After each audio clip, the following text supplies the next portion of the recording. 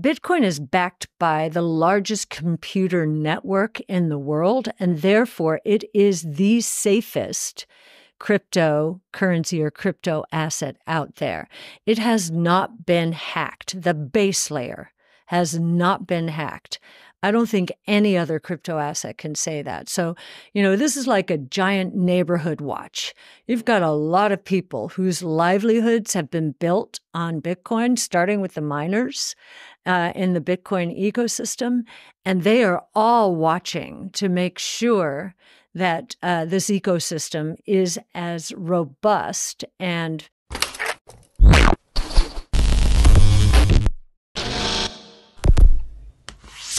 Hey guys, welcome back to Everyday Finance. In this video, Cathie Wood discusses Bitcoin and crypto. Cathie has a strong belief in the potential of these disruptive innovation platforms and has made predictions about their future has the potential to grow by 40% each year during this period. Business Cycle Ark's research also calculates the market value of these. The value of platforms is projected to reach $13 trillion in projected to surpass $200 trillion by 2030, according to financial analysis, offering vast possibilities for everyone, particularly investors who participate. Early Cathie is very optimistic about artificial intelligence and blockchain are two cutting edge technologies that are revolutionizing various industries. They have the potential to transform the way we live and work, offering new opportunities and solutions. The power of artificial intelligence lies in its ability to analyze vast amounts of data and make intelligent predictions and decisions. On the other hand, blockchain technology provides a secure and transparent way to store, and the convergence between the two platforms are set to revolutionize the way in which humans produce plan, invest, and prepare for a prosperous future. Discussing future generations during her conversation with Alice Cathie, described the workings of certain AI companies' language models are already in use. To foster prosperous economies and promote life is generally simpler and easier in located in parts of Africa and at the heart of it, I am interested in Bitcoin and the Lightning Network network payment tools are being developed to embrace and contribute to this new ecosystem in their own unique way.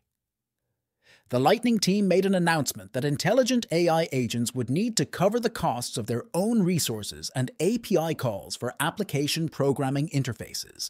This is where the Bitcoin Lightning. A network arrives with the potential to make a significant impact payments made more affordable, efficient, and convenient payment processing, and lots of things Cathie Wood discusses, so please watch the video to end, and like share this video and subscribe our channel Everyday Finance. Thanks. Yes, so um, we are in print. Uh, uh, our base case is 650,000, but that base case was set uh, before the SEC approved uh, the Bitcoin ETFs. Uh, and so uh, we are more convinced now that our bull case of 1.5 million by 2030 is the the the more likely case. There's no way to shut Bitcoin down. Um, and China tried and all the activity that was in China just migrated. There's no oversight. It, there's no throat to choke, and it has proliferated to such an extent and is serving a really important role, especially in emerging markets where people, you know, of various countries, if their leaders either don't understand economics or there's corruption and um, they lose purchasing power and wealth, you know, to the tune of 50% in a very short period of time. E- even this year, Egypt, I think it was the beginning of March, devalued the Egyptian pound by 40%. And so having an insurance policy like Bitcoin is really important in emerging markets. So the bear case for Bitcoin isn't even that it could just go nowhere, but that it will 20x in five years. I mean, you've seen the corrections are violent because mm-hmm. it is so early and so young. Um, the the corrections used to be 95%. Now they're more like 75%. That's a lot. So I don't want anyone to think that it's straight up and to the mm-hmm. right mm-hmm. because the corrections are pretty violent. Um, they're getting less so. And I think as Bitcoin moves more into mainstream investing, the volatility will go down dramatically. Uh, so it's not like we're saying it won't go down. Um, it will. It's a new asset class.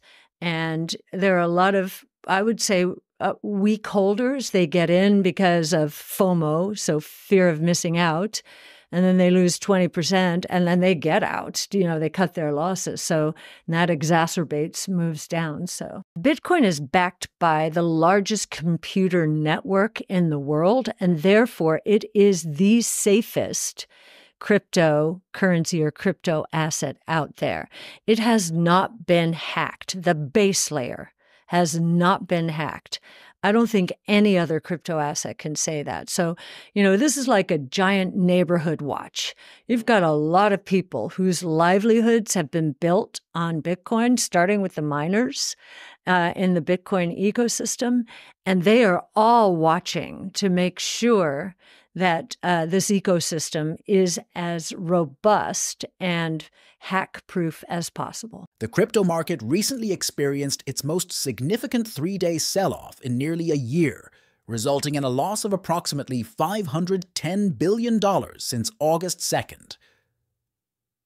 This sharp decline in the crypto market coincided with a decline in equities as the S&P 500 fell by as much as 4.4% during the same period.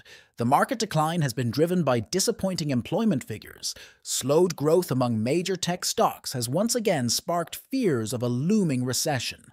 Several major companies, including Microsoft and Intel, have reported lower than expected Q2 results. Market leader Nvidia has also been hit by expectations of an impending rate. In September, there have been cuts that have resulted in a flow of capital back into smaller, lagging companies. In mid August 2023, there was a significant drop in the value of crypto over a span of three days. Many market commentators have also noted a significant amount of selling from a prominent crypto trading firm. This firm has recently offloaded hundreds of millions of dollars worth of assets from their books, according to Arkham Intelligence data. The Crypto Fear and Greed Index, which measures market sentiment towards Bitcoin and crypto, has dropped back into fear territory, currently showing a score of 26 according to alternative.me data. Looking ahead, the crypto market is facing another challenging week, as the losses experienced over the weekend will require a boost from increased spot and derivatives activity from traditional financial institutions. Bitcoin has entered the CME gap, which can only be filled during regular trading hours from a technical standpoint. In his latest post on August 4th, Keith Alan, co founder of Trading Resource Material Indicators, stated Let's get back to Cathie Wood interview. Well, there is one thing that the Bitcoin community is watching, and that is quantum computing. But ha- as I always say, when it comes to risks, half of the solution is understanding the problem. And so now developers are thinking in terms of quantum proofing. Mm-hmm. Uh, so, so I I think that is something we should consider seriously. And I am happy that you know the developers are considering it seriously uh, because again, half the solution. Do you think there are any other drawbacks to Bitcoin? Well, many people would call drawbacks like higher cost than other solutions, slower, um, uh, s- slower transaction settlement times. But to us, those are features not flaws, um, because it's part of why it is the safest ecosystem in uh, in the crypto asset world. So we don't look at those as as issues. We look at them as really uh, they've been built into the ecosystem to to assure its success as the safest uh, crypto asset ecosystem. And how do you see the regulatory environment changing for Bitcoin or cryptocurrencies in general? what has happened, U.S. has been the worst. Uh, uh, Gary Gensler, as I've said many times, has been a menace to to our ecosystem and has pushed a lot of innovation associated with Bitcoin and other crypto assets into the rest of the world. So much so that many of the innovators who have moved to other parts of the world, whether it's Switzerland or Berlin or uh, London or Hong Kong, uh, Singapore, they will not deal with U.S. investors even.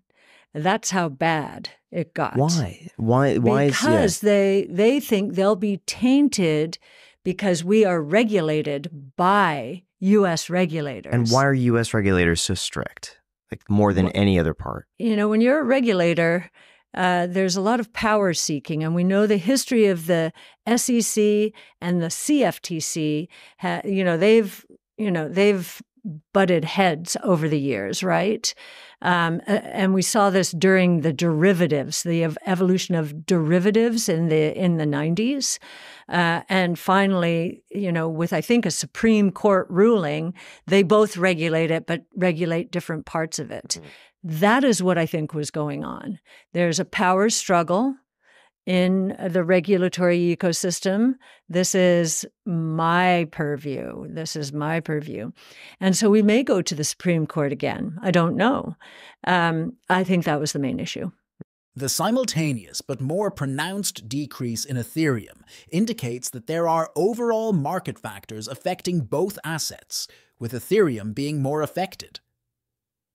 This sharp decline may be attributed to a sudden event, market sentiment can be influenced by significant news events or other external factors.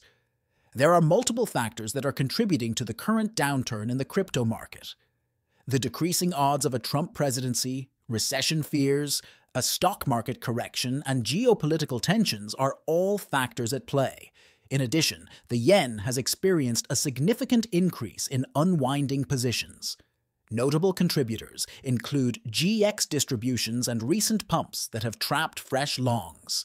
The dispersion of altcoins contributes to the complexity, resulting in a challenging situation for the cryptocurrency market. If you learned something from this video, then please like this video and subscribe our channel Everyday Finance, and we will meet in next video. Thanks.